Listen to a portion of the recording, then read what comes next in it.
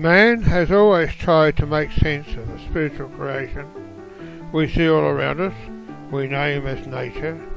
He tries to own it, control it, even grasp it tight to him in his own desire to make sense of the wonder of life all around him.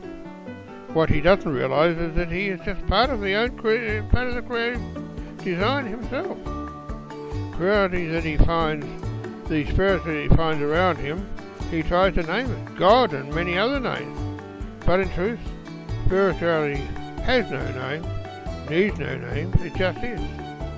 And we are an integral part of it. We should just marvel at its creative design and its pure beauty and accept it.